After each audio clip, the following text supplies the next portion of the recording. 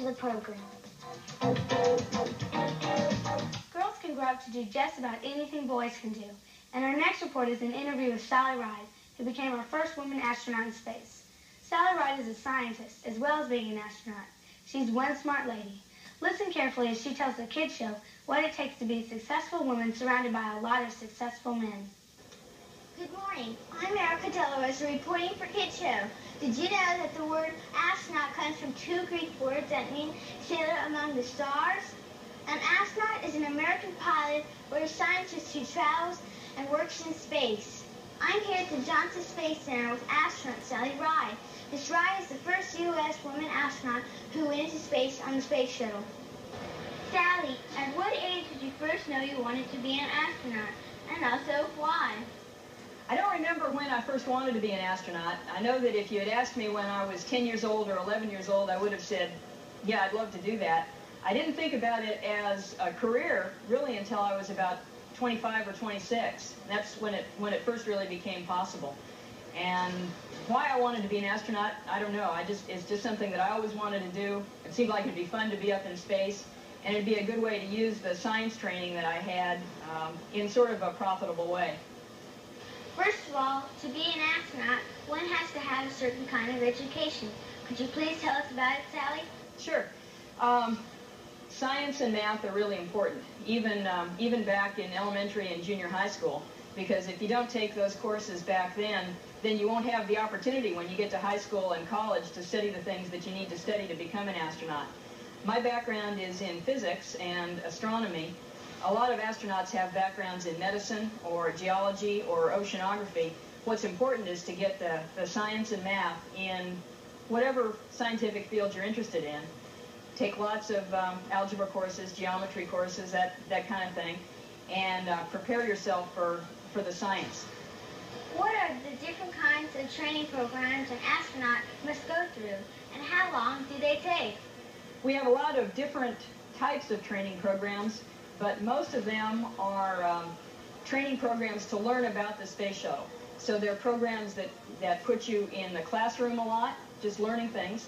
There are programs that put you in the simulators, practicing what you've learned. A simulator is exactly like a space shuttle. It's run by computers, and we walk into, into a room that looks just like the space shuttle with all the dials and switches and knobs in exactly the right places, and we practice everything that we're going to do on orbit.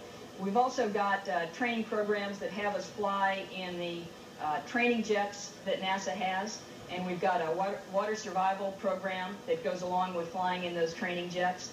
And altogether, those programs take, oh, maybe three or four years once you become an astronaut before you're really ready for a space flight. T minus. Can you tell us about your duties on board the space shuttle? I've been on two space shuttle flights so far, and my duties were pretty much the same on both of them. I'm one of the scientist astronauts, and on both flights, I was um, the astronaut who helped out during launch and entry, kind of like a flight engineer on an airplane.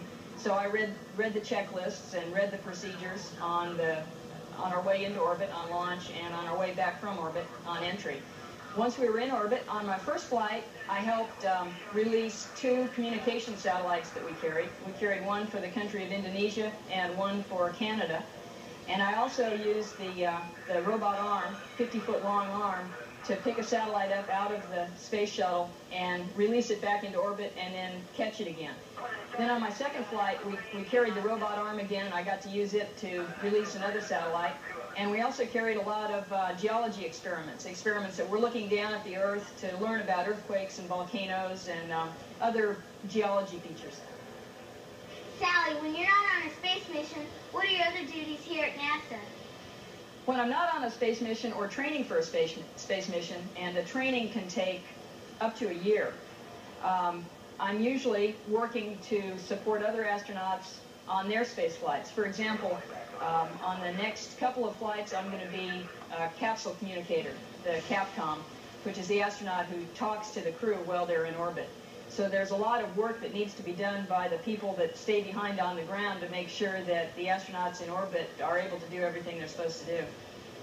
What a great, what great things do you see for the future of, this, of the shuttle and the space program? Well, the shuttle's going to be going to be flying for a long time. It's going to be flying for at least at least 10 more years. And it's really our way to get into space. So it's going to be carrying the big telescopes that we're going to carry. It's going to carry all of the big satellites that we're going to carry. It's going to help us build the space station in five or six or seven years. So we really can't get into space without the space shuttle and all the things that we're going to be doing in space, whether it's looking at the stars or looking back at Earth or helping helping make medicines in space or helping our communications processes, television, telephones. Um, we're going to be using the space shuttle to do all that. What advice would you have for kids who are thinking of becoming future astronauts? do it. it's a lot of fun. I think that the most, the, the best advice that you can give to a kid who wants to become an astronaut is um, is to study hard and and to to start reading up on the space program, but to get the background that will be needed um, in high school and college to to get the right to get the right uh, information. Thank you, Ms. Ride, for helping me do this astronaut report. One more thing. Can I please have your autograph? sure.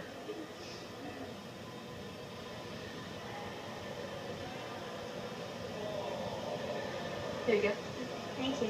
This is Erika De La Rosa reporting for Kid Show. We want to thank the folks at NASA for arranging Erika's interview with Sally Ride and for letting us use their pictures to illustrate that report. We appreciate it.